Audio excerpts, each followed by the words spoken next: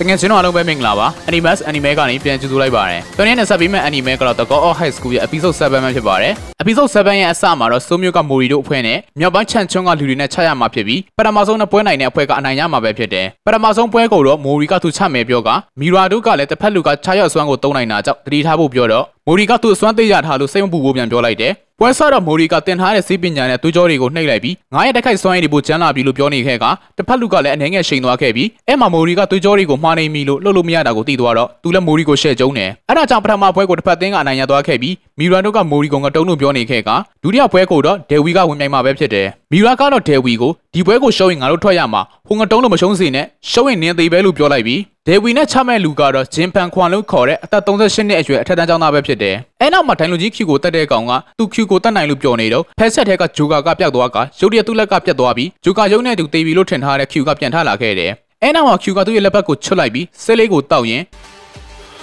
မင်းရနာကြီးတာပဲတေစန်းလို့ပြောကတစင်းနဲ့လိုက်ခုတ်တော့ Drake လည်းထွက်ပြေးခဲ့တယ်။အဲမှာ Q ကထတ်ချတော့နောက်လက်တစ်ဖက်ပါပြတ်သွားခဲ့တယ်။ အဲနောက်မှာ Q ကနောက်ထပ်နှစ်ချက်ထပ်ပိုင်းလိုက်ပေမဲ့ Nos ကကောင်ကငါးရက်ချားရအစွမ်းကခန္ဓာကိုယ်ကိုပြန်ဆက်လို့ရတယ်ကွာမင်းဘလောက်ပိုင်းပိုင်းငါမသိဘူးလို့ပြောတော့ Q ကစိတ်ဝင်စားဘူးလို့ပြောပြီးသူ့ရဲ့အကွက်နဲ့ခေါင်းကိုဖျက်ဖို့လုပ်နေတော့သူ့ရဲ့ခုတ်ချက်ကတားခံလိုက်ရကရန်သူရဲ့စစ်ကူတွေကရောက်လာခဲ့တယ်ရောက်လာတဲ့သူတွေကတော့ Nos အဖွဲ့ရဲ့ယာဒူးကြီးပိုင်းတွေဖြစ်တဲ့ X နဲ့ Satan ဖြစ်ပြီးသူတို့ကမင်းထီမှာဘာလုပ်နေတာလဲ Drake ခီကိုတက်ရမှာငါတို့အလုပ်လေးလို့ပြောတော့ Drake ကကျွန်တော်လဲထိုင်လူကြီးခီကိုတက်နိုင်ကြောင်းတက်သိပြချင်လို့ပါလို့ပြောနေတော့ခီကိုလဲလီလာတွေပြောချင်ရင်ငရဲမှာသွားပြောဆိုပြီးအကွက်တွေလှမ်းကျွေးတော့သူတို့လည်းရှောင်လိုက်ပြီးမင်းကစိတ်မရှိပါလားလို့ပြောကဆက်ချကြတယ်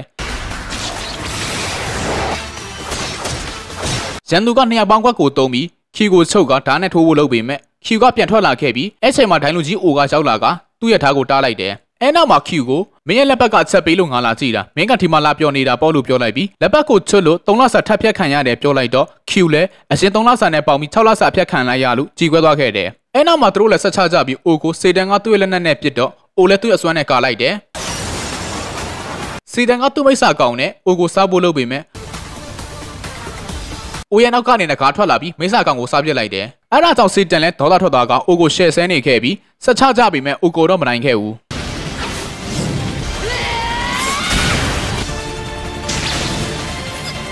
တစ်ဖက်မှာတော့ Q က S ကိုရှယ်ဖြုတ်နေခဲ့ပြီးရင်ဘက်ကိုဂျုံနဲ့ထိုးလိုက်တယ်အဲနောက်မှာဆက်ချကြရင်တောင်တွေကိုပါဖြတ်လိုက်ကဒါကဇင်ပွန်စာအတွက်ပဲဆိုပြီးရှယ်ဖြုတ်တယ်ဒါပေမဲ့သူက Q ကိုမနိုင်မှန်းသိတာကြောင့်စေတန်ကိုခေါ်ကထွက်ပြေးသွားခဲ့တယ် Q ကတော့ပြေးနိုင်တော့ပြေးထားလို့အော်ပြောနေခဲ့ပြီးအဲ့ချိန်မှာ Drake ကငါ့ကိုလည်းစောက်ဖက်လို့အောင်မင်းကိုတတ်မှာငါကွာလို့ပြောကသူ့ကိုယ်သူအသေးခံပြီးဖောက်ခွဲလိုက်တယ် အဲ့ဒါကြောင့်အဆက်အောင်တစ်ထပ်လုံးပြက်စီးသွားခဲ့ပေမဲ့ဒိုင်နီကတော့မသေးပဲနောက်ဆက်အဖွဲ့ကိုငါတို့အပြက်ရှင်းမှဖြစ်မယ်ဆိုပြီးသူတို့ချင်းချင်းပြောနေခဲ့တယ်တစ်ဖက်မှာတော့ဒေဝီနဲ့ဂျင်ပန်ခွန်ကချနေခဲ့ပြီးဂျင်ပန်ခွန်ရဲ့အကွက်ကြောင့်ဒေဝီကလွင့်သွားကနောက်တစ်ခွက်ကျွေးဖို့လုပ်တော့ဒေဝီကသူ့ရဲ့အကွက်နဲ့ပြန်တားလိုက်ပြီးဂျင်ပန်ခွန်ကိုစရိုက်ခွက်တွေကျွေးနေခဲ့တယ်အဲ့ဒါကိုကြည့်နေတဲ့ဂျင်ပန်ခွန်ရဲ့အဖွဲ့သားတွေကလည်းစိုးရိမ်နေကြပြီးဂျမ်မီကတော့ဂျင်ပန်ခွန်လိုရှုံးပေးတတ်တဲ့လူကရှုံးစရာကြောင့်မရှိဘူးလို့ပြောပြီးသူနဲ့စားတွေ့တဲ့အချိန်တွေကိုပြန်တွေးနေခဲ့တယ် ဂျင်ပန်ကွန်ကအသက်ကြီးမှအထက်တန်းကျောင်းကိုပြန်တက်ပြီးသုံးခါတော့ဆောင်မှုပွဲချထားတာကြောင့်လူတွေကသူ့ကိုကဲ့ရဲ့နေခဲ့ကဂျမ်မီကလည်းသူ့ကိုရှုံးသမားဖြစ်သတ်မှတ်ထားခဲ့တယ်။တနေ့မှာတော့ပြန်ပွဲမှာရှုံးနေလာတဲ့ဂျမ်မီကစိတ်ရက်တွေကျနေခဲ့ပြီးသူ့ရဲ့ကမ်ပျူတာကိုပြစ်လိုက်လို့ကျိုးသွားခဲ့တယ်။အဲ့ချက်မှာဂျင်ပန်ကွန်ကကြောက်လာပြီးရင်မောကဓာတ်ကိုပြန်ဆက်ပေးနေတာကြောင့်ဂျမ်မီကလူတွေတလောက်ကဲ့ရဲ့နေတာတောင်ဘာလို့ရီမောနေနိုင်တာလဲ။ ဆာမေဝက်စရိုက်ကြတာရောမရှက်ဘူးလားလို့မေးတော့ဂျင်ပန်ကွန်ကသူ့ကိုယ်သူရှုံးမပေးချင်တော့ဘူးလို့ပြန်ပြေခဲ့တယ်။အဲ့နောက်သူငငယ်တုန်းကစာမတင်ဂျင်လို့ကြောင်းထွက်ခဲ့တဲ့အကြောင်းနဲ့အလုပ်တွေလုပ်တုန်းကလည်းတာရှိမခန့်ပဲအလွယ်တကူလက်လျှော့လာတတ်တဲ့အကြောင်းတွေကိုပြောပြခဲ့ကသူကအဲ့လိုအရှုံးသမားမဖြစ်ချင်တော့ဘူးလို့ပြောပြီးဂျမ်မီကိုလည်းအရှုံးမပေးရင်ပန်းနိုင်ကတနေ့ရောက်လာလိမ့်မယ်လို့ပြောလိုက်တယ်။အဲ့နောက်မှာဂျင်ပန်ကွန်ကဂျမ်မီကိုထီပေးရင်ထွက်သွားခဲ့ပြီးဂျမ်မီလည်းငါကသူ့ကိုအရှုံးသမားလို့ထင်ထားတာတကယ်တမ်းတော့အရှုံးသမားကငါပဲလို့သူ့ကိုယ်သူပြန်ပြောရင်ဂျင်ပန်ကွန်ကိုလေးစားသွားပြီးနောက်နေ့ရောက်တော့ဂျင်ပန်ကွန်ကိုစာနေကူပြပေးခဲ့ကသူတို့နှစ်ယောက်လည်းရင်းနှီးသွားခဲ့ကြတယ်။ပြန်ပွဲကိုပြန်ရောက်လာတော့ဂျင်ပန်ကွန်ကဒေဝီကိုသူ့ရဲ့ချားရောက်စွမ်းနေကြွေးပြီးငါကကြောင်းတက်နိုင်တဲ့သူတွေကိုကြောင်းတက်နိုင်အောင်လုပ်ပေးခြင်းလို့ Go High School ကိုဝင်ပြိုင်တာလို့ပြောလိုက်ပြီးဒေဝီကလည်းကျွန်တော်ကတော့ပိုချမ်းလာခြင်းနဲ့ဦးလေးကိုနိုင်ရင်ကျွန်တော်ပိုချမ်းလာမယ်လို့ပြောလိုက်ပြီးဂျင်ပန်ကွန်ကလည်းကောင်းပြီလို့ပြောကဒေဝီကိုထုလိုက်တယ်ဒါပေမဲ့ဒေဝီကတားလိုက်ပြီးသူ့ရဲ့ခွက်ကိုပြန်သုံးတာကြောင့်သူကပြက်စီးသွားပြီးဂျင်ပန်ကွန်လည်းလဲကြကဒေဝီကနိုင်ရသွားခဲ့တယ်နောက်တစ်ပွဲကတော့ဂျမ်ဘီနဲ့မီရာတို့ကချမှာဖြစ်ပြီးဒိုင်ကဒီပွဲရှုံးတဲ့သူရဲ့အဖွဲ့ကထွက်ရမှာဖြစ်ကြောင်းပြောလိုက်ကပွဲကိုစတင်တယ်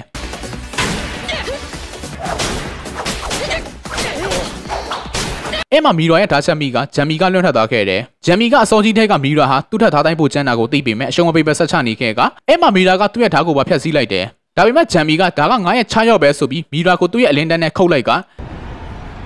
တစ်ဖက်မှာတော့မိုရီတို့ကမုံနေစားနေခဲ့ပြီးမီလာကိုစိတ်မပူတာကြောင့်တူနာပြုတ်ဟီးကကိုယ့်အဖွဲ့သားတွေကိုစိတ်မပူဘူးလားလို့မေးလိုက်တယ်အဲ့မှာမိုရီနဲ့ဒေဝီကမီရာနိုင်မာကိုဘာတွေစိတ်ပူနေရမှာလဲလို့ပြန်ပြောလိုက်ပြီးမီရာကလည်းအလင်းတန်းပေါ်ခုံကဂျမ်မီကိုတစ်ချက်ပြေးကန်ပြီးပွဲကိုဆုံးသက်လိုက်တယ်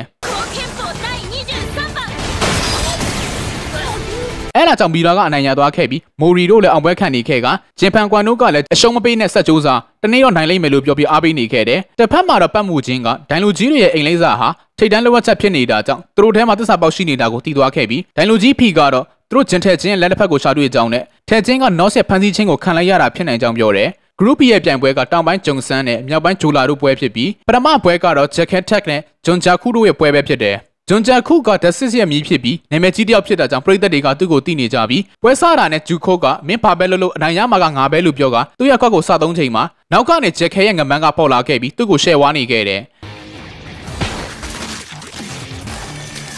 အဲ့ဒါကြောင့်ဂျူခိုရဲ့တက်တော်ဆောင်ကဂျက်ခဲကိုလာချပြီးဂျူခိုကိုလွတ်ဖို့ပြောတော့သူမကိုပါထိုးလိုက်ပြီးမိမတွေဝင်မပါနဲ့လို့ပြောကမျက်နှာကိုကန်နေခဲ့တယ်။အဲ့ဒါကိုမိုရီကကြည့်နေတော့မီရွာလည်းမိုရီရဲ့အကြောင်းကိုသိတာကြောင့်မိုရီကိုမသွားဖို့တားနေခဲ့ပြီးမိုရီကနောက်ကိုလှည့်ကြည့်လိုက်အောင်လို့ပြောတာကြောင့်ကြည့်လိုက်တော့ဒေဝီကစင်ပေါ်တက်ပြီးဂျက်ခဲကိုကန်တာကိုတွေ့လိုက်ရတယ်။ဂျက်ခဲကလည်းပြန်ချဖို့လုပ်ပေမဲ့ထိုင်ကတားလိုက်ပြီးဒေဝီကိုပြစ်ပေးဖို့လုပ်နေတော့မှဂျူခိုကဂျီခဲကိုအလစ်ဝင်တိုက်ပြီး ငါကရှုံးလို့မရဘူးလို့ပြောလိုက်တယ်။ဒါပေမဲ့ဂျက်ခဲကဂျွန်ခွန်းရဲ့အကွက်ကိုဖျက်လိုက်ပြီးတစ်ချက်ပြေးထိုးကမင်းရဲ့ဆောက်ဆင်းနဲ့ငါ့ကိုနိုင်မှာလားလို့ပြောလိုက်ပြီးဂျူခုတ်ကိုငမန်းပဆက်ထဲထည့်လိုက်တယ်။အစုံးတစ်ချစ်ရှုပေးခဲ့ကြလို့တငယ်ချင်းတို့အားလုံးကိုအထူးပဲကျေးဇူးတင်ရှိပါတယ်။